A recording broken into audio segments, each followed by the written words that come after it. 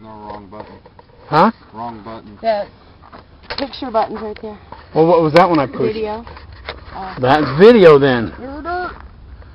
Okay. And then you push it again for off on video and then take a picture? Uh-huh.